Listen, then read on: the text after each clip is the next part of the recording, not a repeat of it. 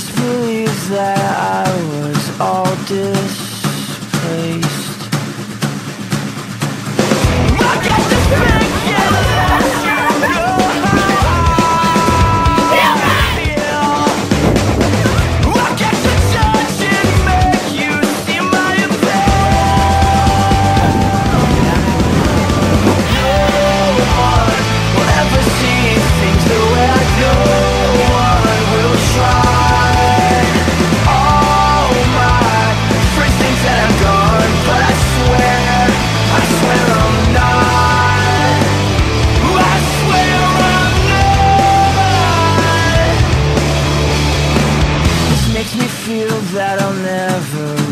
quite normal